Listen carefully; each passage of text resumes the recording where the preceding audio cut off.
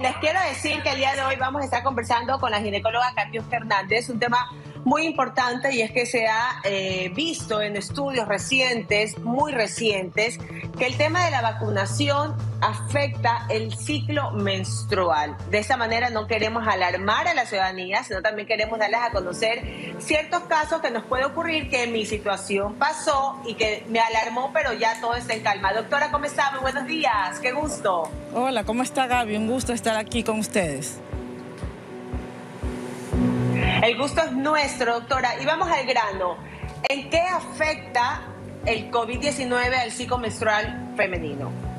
Bueno, eh, todos sabemos que eh, algunos sistemas, como por ejemplo el estrés, alteraciones o enfermedades como la tiroides, pueden provocar alteración del ciclo menstrual. Realmente no existe una relación entre la enfermedad ni las vacunas como para alteración del ciclo menstrual.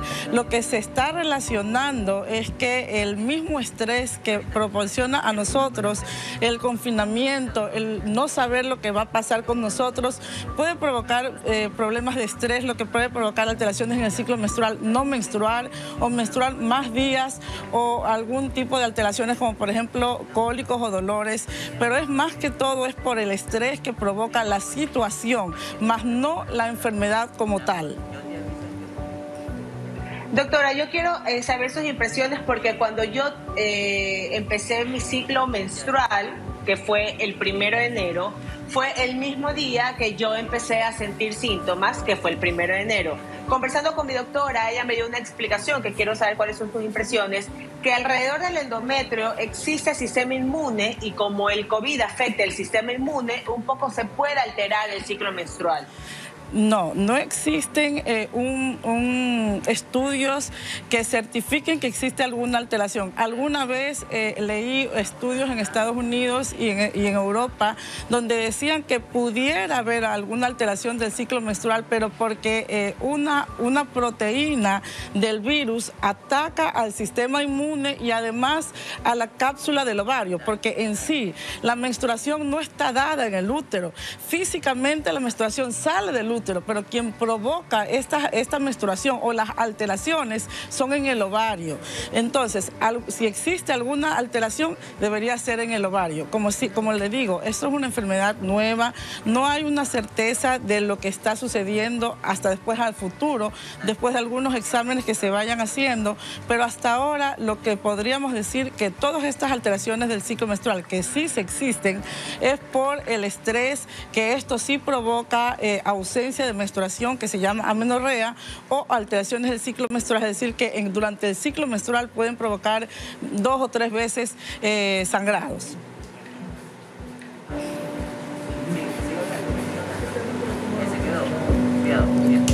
Ok, médica, ciclo menstrual, doctora. Eh, voy a retomar un poco mi pregunta, centrándonos un poco en el tema estrés, usted nos mencionó un poco el ciclo. ¿Qué puede la mujer cuando lleva más de 10 días sangrando abundantemente? No le escuché muy bien. Ok, mi querida Gaby, ya vamos eh, a mm, retomar un poco con, con, el audio y con tu pregunta, pero también acá Virginia, perdón, Valeria está preparada con cuestionamientos. Todas las chicas están muy atentas, por supuesto que seguro tienen preguntas al igual que usted en casa. Vale. Doctora, una pregunta. ¿Estos defectos se presentan en todas las edades? Sí, eh, en, relación al COVID, Claro que sí, esta es una alteración que se puede presentar eh, tanto en hombres y mujeres, lo que se ha visto, por ejemplo, que se puede presentar en cualquier edad gestacional, en cualquier edad de la mujer especialmente, pero con mayor alteración entre los 20 años y hasta los 50 años desde el punto de vista de la menstruación. Gracias. Ok, eh, doctora Sofi Castañeda tiene una pregunta también para usted. Doctora, ¿cómo, ¿cómo hacen las mujeres que no están teniendo eh, un, un anticonceptivo, que no están usando anticonceptivos, sino que tienen estas alteraciones del ritmo?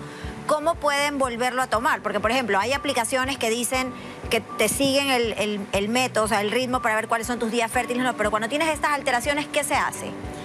¿Qué es lo correcto? O sea, saliéndonos del tema, porque no hay problema. O sea, pues, cuando yo quiero cambiar un ciclo menstrual, cuando quiero cambiar un anticonceptivo, lo ideal es hacer un estudio para ver si la paciente está en condiciones de utilizar algún tipo de no, anticonceptivo. No, no, no, capaz no me expliqué bien. No es para cambiar de método anticonceptivo, sino cuando ya tienes estas alteraciones por estrés, lo que usted venía diciendo, y no tienes ningún método anticonceptivo si no te cuidas con el método del ritmo.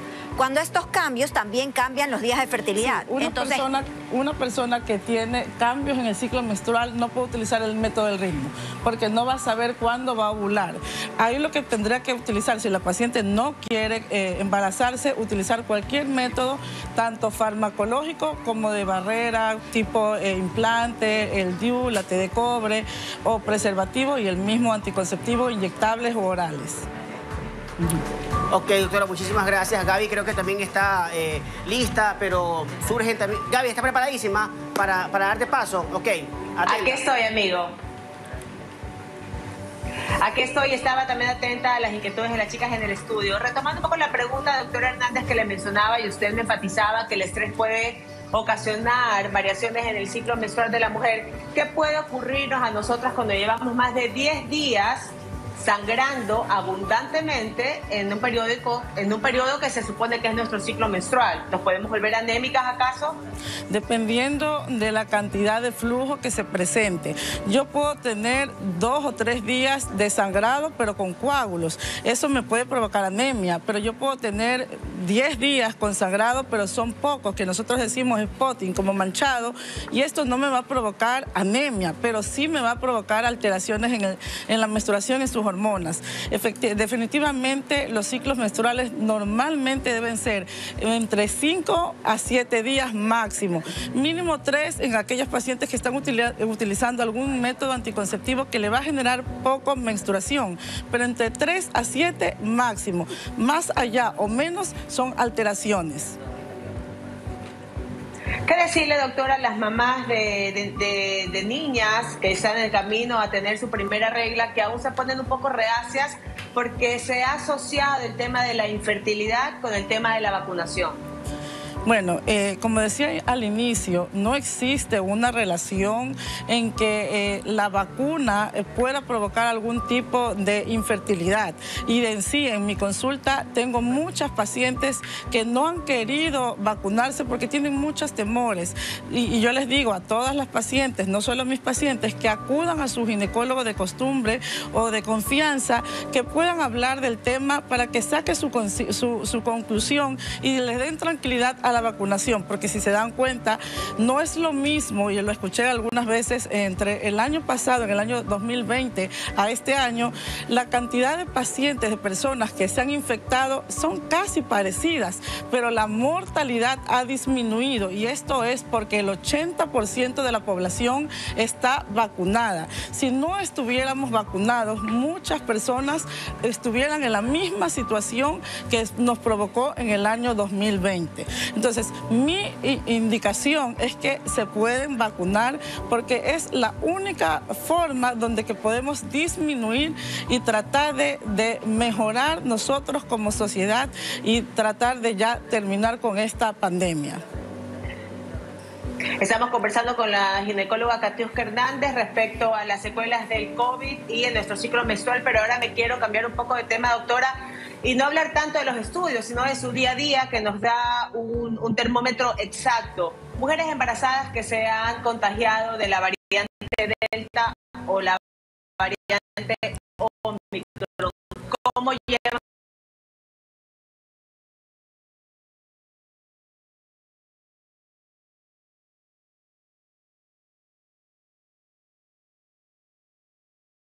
la variante Omicron hasta ahora está siendo un poco menos agresiva. Depende no solamente de, la variante, de, de, por sí la Delta siempre va a ser un poco más preocupante para nosotros y para la paciente, pero además necesitamos saber la carga viral que tiene la paciente. No es lo mismo, eh, ¿qué quiere decir carga viral? Es la cantidad de virus que tiene dentro del organismo. No es lo mismo una paciente que tiene 10 de carga viral a una que tiene tiene mil de carga viral. Obviamente la que tiene mil va a tener mayor eh, riesgo en, enfermarse más. Además, no solamente es la carga viral, sino también otras comorbilidades que pueden hacer que la paciente que se pueda complicar. Por ejemplo, una paciente que es hipertensa, una paciente que es obesa, una paciente que es diabética y que además está, por ejemplo, embarazada, tiene cuatro factores de riesgo que se pueda complicar. Si a esta paciente tiene una carga viral alta, probablemente la paciente va a necesitar hospitalización y se puede complicar.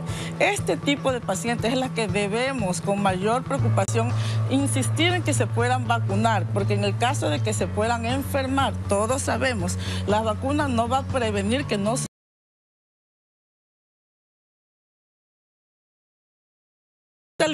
o que llegue a la terapia intensiva. Mujeres que han dado a luz estando infectadas de COVID, ¿qué ha pasado con el bebé recién nacido?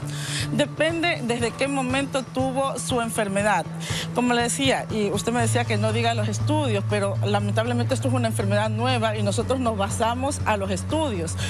Sí hay estudios que dicen que la madre que está enferma durante la gestación puede transmitir con la placenta anticuerpos. Si la y de hecho en mis pacientes hemos hecho anticuerpos al niño y algunos pacientes han tenido anticuerpos cuando la madre ha estado embarazada y le dio COVID. Entonces, si la paciente estuvo embarazada y le dio COVID por ahí a los ocho meses, ya terminó su, su enfermedad, nace ya sin la enfermedad, ella obviamente va a salir con anticuerpos y le puede dar de lactar sin ningún problema. Si la paciente, por ejemplo, está en la semana 38 y justamente por alguna circunstancia tengo que interrumpir el embarazo por cesárea vaginal y la paciente está estable, la, pediatra va a ver si la paciente puede eh, estar como alojamiento conjunto y obviamente sí puede dar de lactar. Qué interesante, doctora, lo que usted nos acaba de decir, saber primero la carga viral, eh, que es lo que siempre hemos enfatizado acá como programa, también la importancia de la semana de embarazo en que la mujer adquirió el virus, son temas que muchas veces lo dejamos, marcan un, un factor sumamente importante en el desarrollo embarazo. Bueno, eh, ah, yo eh, trato de decirle a las pacientes que se, que se vacunen. En las últimas dos semanas he tenido alrededor de 80 pacientes embarazadas y esto no lo viví en el año 2020. Como digo, la Delta eh, eh, más tenía eh, como mayor afinidad a adultos mayores, pero ahora yo veo más la incidencia en personas más jóvenes, embarazadas y hasta niños. Y como lamentablemente en el primer estudio no se, no se puso a las embarazadas y a los niños cuando se estaba haciendo los estudios para vacunas, al inicio no se había vacunado ni a niños ni a embarazadas por eso es que ahora hay embarazadas que no están vacunadas y por eso es que hay mayor índice de mujeres embarazadas que no han tenido la vacuna y que por eso tienen eh, más enfermedades. Pero gracias a Dios la mayoría tiene Omicron y les ha pasado como una, como una simple gripe. Pero esto no siempre es así. Por eso es que no pueden automedicarse y hacer como que no les va a suceder nada más que todas las embarazadas, por el sí, por el hecho de que están embarazadas, tienen su sistema inmunológico bajo, tienen el mayor riesgo de que se puedan complicar, deben acudir al ginecólogo, deben eh, hacer los exámenes que le va a decir y deben solamente tomar la medicina que el ginecólogo les da, no lo que le ayudó a la otra persona, porque no va a ser lo mismo, cada paciente es diferente, más aún en las embarazadas. Qué importante, doctora, lo que usted acaba de decir. Ahora vamos a otro grupo de mujeres, las mujeres premenopáusicas y las mujeres menopáusicas. ¿Qué incidencia ha tenido el COVID en este grupo? Bueno, eh, no, hay, eh, no hay una diferencia entre hombres y mujeres. Tampoco no hay una diferencia entre eh, la edad, entre las mujeres en sí, si es adolescente, mayores o en las perimenopáusicas o en las menopáusicas. Esto va a depender y probablemente, como le decía, volvemos otra vez a Delta y a Omicron Eh, inicialmente la delta era mayor, eh, con mayor afinidad a las personas adultas, las perimenopáusicas y las menopáusicas.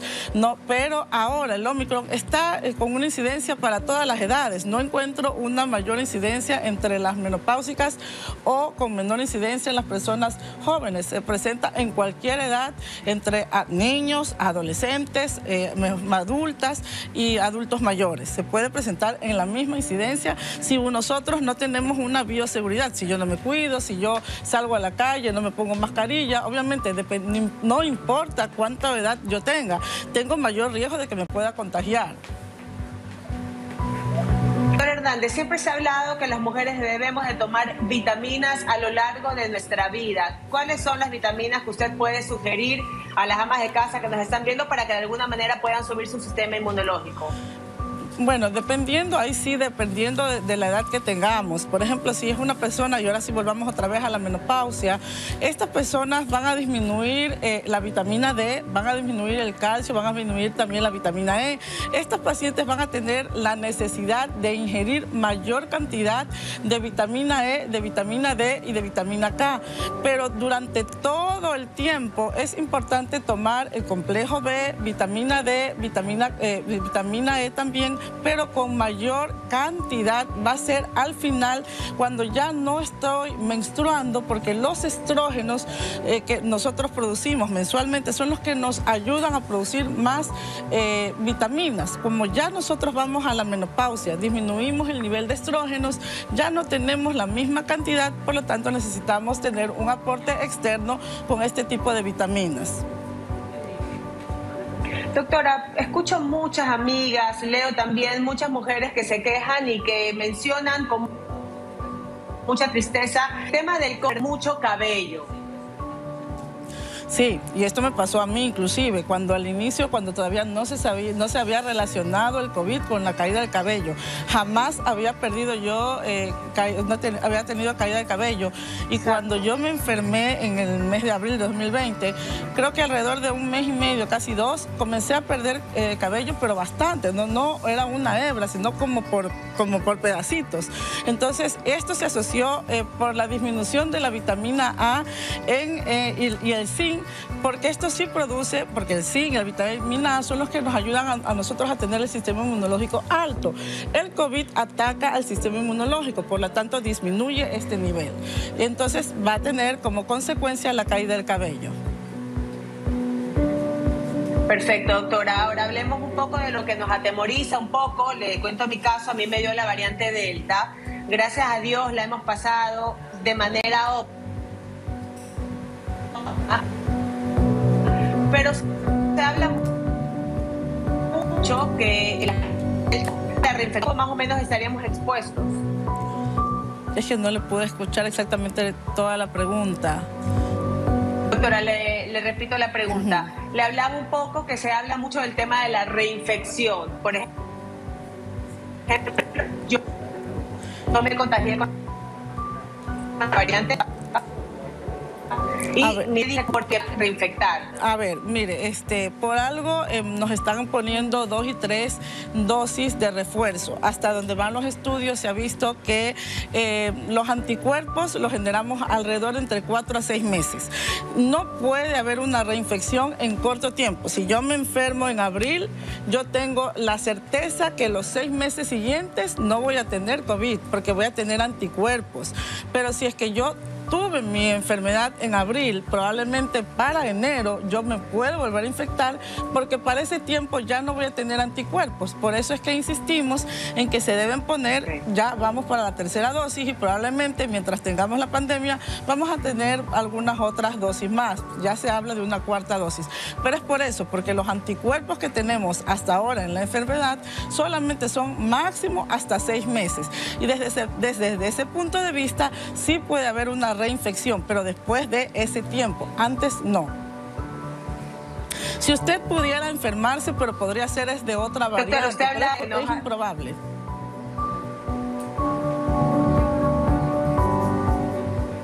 Continúe, doctora. Por... Ya, concluyó, ya concluyó Gaby. me quedé un poco preocupado por el tema, no preocupado, pero bastante interesado en saber eh, eso de la cuarta dosis, ya es una realidad, doctora. Si nosotros, si nosotros eh, nos hubiésemos vacunado tal vez al 100% o un poquito más, este, no, le damos la oportunidad de que el virus se mute. Lamentablemente estos virus tienen dentro de sus capacidades es que se pueden mutar. Y como sigue habiendo en el ambiente, ellos se dan cuenta que, que ya están debilitándose, entonces van cambiando. Esto se llama mutación. Entonces, mientras exista ¿no? Eh, eh, ese sesgo de personas que no se vacunen, el, el, virus va a seguir viviendo. Y esto lo ha pasado entre todos los virus, entre, por ejemplo, el papiloma, el herpes, hasta que ya se pueda eh, vacunar casi el 100%. Eso va a ser imposible, pero casi el 100%. Entonces, se disminuye la gente que se pueda enfermar y entonces ahí sí ya no es necesario vacunar, seguir con vacunas, sino ya se deja una enfermedad como endémica y se queda como una simple gripe, que eso es lo que queremos a futuro. ¿Y cuánto falta para que sea de pronto una simple gripe? ¿A futuro de qué estamos hablando? Como le digo, no depende solo de lo que yo haga, depende de la responsabilidad del resto. Pero como vamos, vemos, yo asumo que no es menos de un año, entre uno a dos años, si todo va bien, eh, esto ya sea una, como una gripe, ¿no? Ok, doctora Virginia. Doctora, quería preguntarle, ya que muchas veces cuando uno se contagia de COVID, piensa que ya no le va a volver a dar. Pero usted dice que son seis meses que uno tiene anticuerpos, pero esto quiere decir que si no te vacunas y te da COVID y sigues violando, por así decir, las normas para protegerte a ti y a los demás, te puede seguir dando con las diferentes mutaciones de este mismo. Efectivamente, y esto yo ya he tenido algunas pacientes que, que y alguien de aquí de Covisa vi que tiene ahorita una reinfección. Este, Y esto es por el tiempo de que va pasando, pierden anticuerpos y entonces este, se puede reinfectar. Hay una forma de saber eh, cómo yo tengo, cómo tengo mi sistema inmunológico o mis anticuerpos.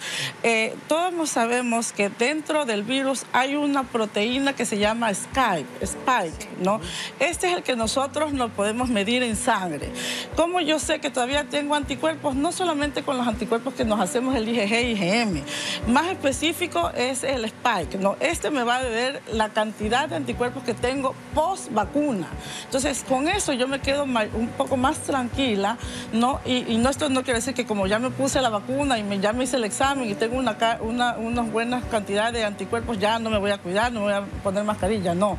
Esto no lo vamos a... Esa es la única forma como para saber eh, cómo yo vengo a y en el caso, doctor, el sistema inmune se va debilitando mucho y eso puede crear que cualquier otra enfermedad aumente Sí, claro. Eh, eh, no solamente, por eso, en el momento que nosotros estamos utilizando eh, medicamentos para el sistema inmunológico, estamos favoreciendo nuestro sistema para evitar no solamente el COVID, sino otro tipo de enfermedades que nos puedan atacar. La misma gripe que por ahora tenemos, por eso hay muchos pacientes que tienen este, todos los síntomas de un COVID, pero le sale negativo, pues puede ser una influenza, porque por este tiempo también siempre tenemos bastante influenza.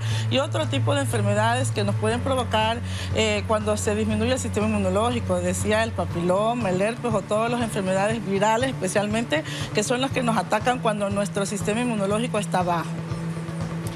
Eh, ok, Gaby, perdón, No, no, no. Ok, Gaby está lista. Gaby. Gaby Díaz, preparadísima. Ok. Casi, casi bueno, preparada.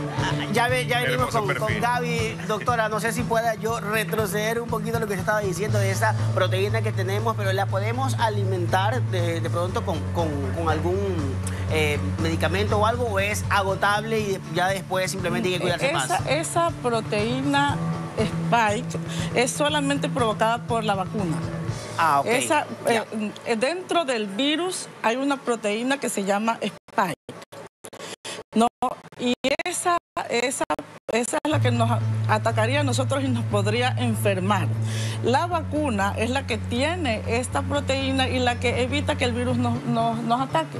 ¿Cómo yo sé que voy a estar bien? Haciéndome los exámenes. Yo me vacuno y me veo los niveles de spike. Y así yo puedo saber cuántos anticuerpos para ese virus tengo específicamente. Doctora, usted dice que de aquí a uno o dos años vamos a tener ya tal vez eh, el 100% de de la población vacunada, pero mientras va pasando, usted me dice, cada seis meses hay que volver a vacunarse. Eso quiere decir que vamos a tener una quinta, una sexta, una séptima, una octava vacuna que, Inicial, que ponernos. Inicialmente se había hablado de do- solamente dos dosis. Claro. A medida que va pasando el tiempo, vamos viendo cómo se va comportando la enfermedad con la población. Hasta que ya vaya Entonces, disminuyendo y eh, vaya yo quitando. creo que esto depende de la confianza de la gente, que como ya había bajado mucho el nivel de contagios, no, la gente cree que ya no les, se va a volver a enfermar, no, y, entonces se confía de que no se puede complicar, y entonces no sigue el sistema de bioseguridad y el, y el virus sigue en el ambiente. Entonces,